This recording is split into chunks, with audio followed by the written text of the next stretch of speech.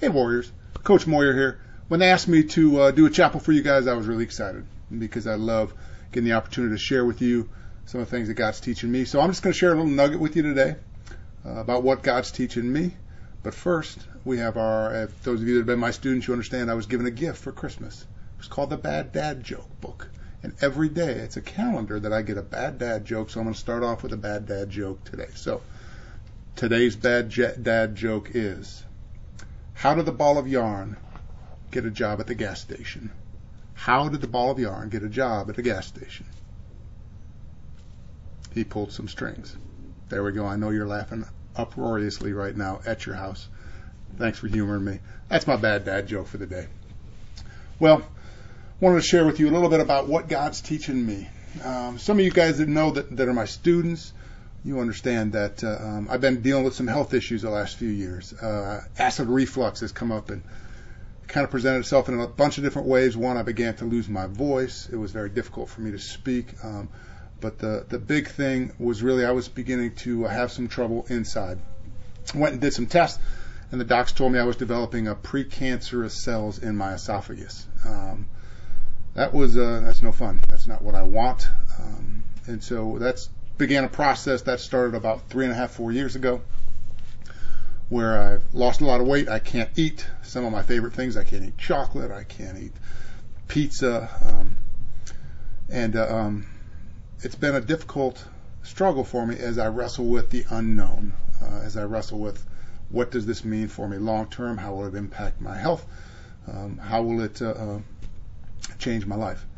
Um, a lot of you know that, and I've shared that pretty openly. Uh, a lot of people don't know, however, that about three, four years ago as well, I began to actually, it started about six or seven years ago, I began to lose feeling in my feet.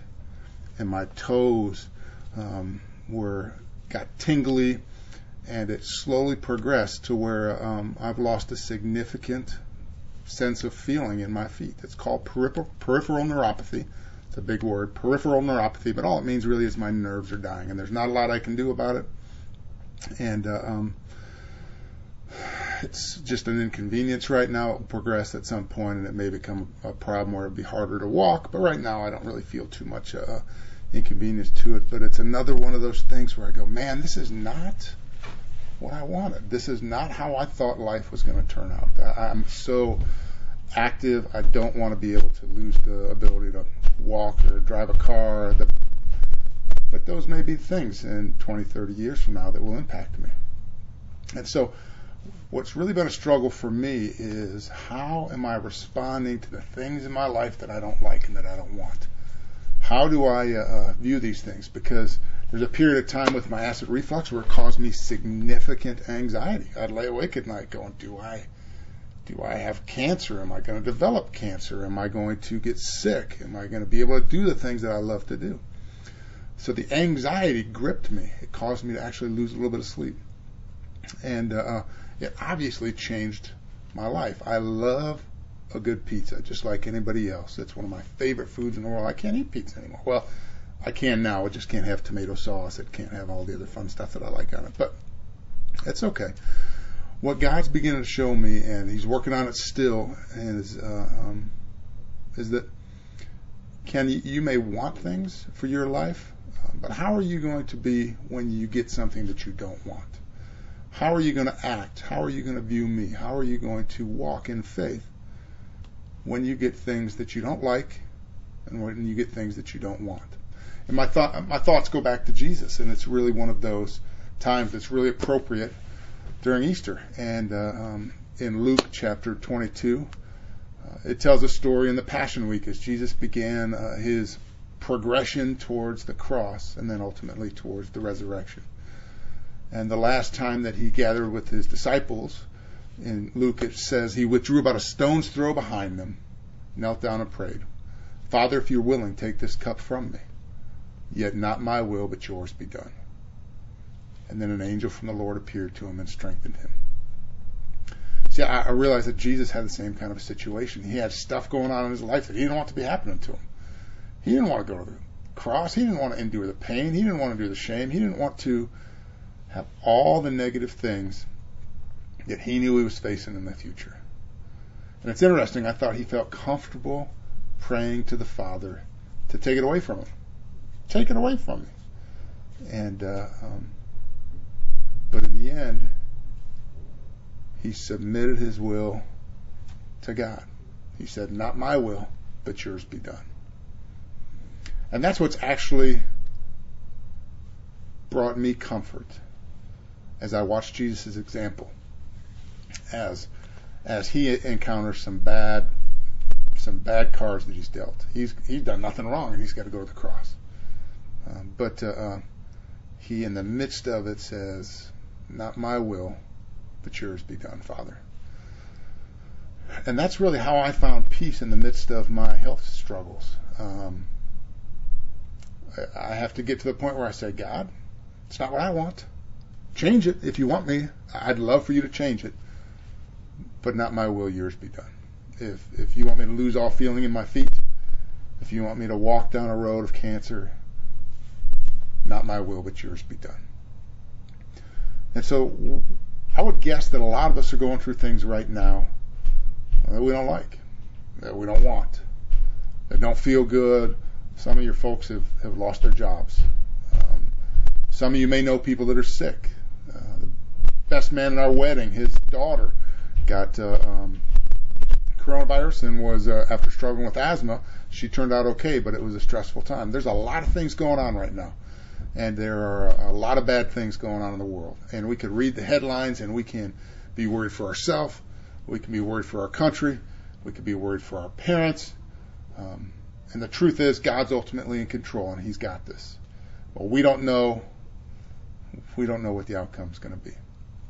And my thoughts go back to Paul, where he said, "Hey, listen. Uh, uh, uh, three times I asked God, take this thorn from my flesh."